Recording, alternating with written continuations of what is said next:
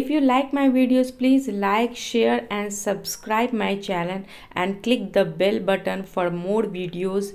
Thank you for watching me. Take care. Bye bye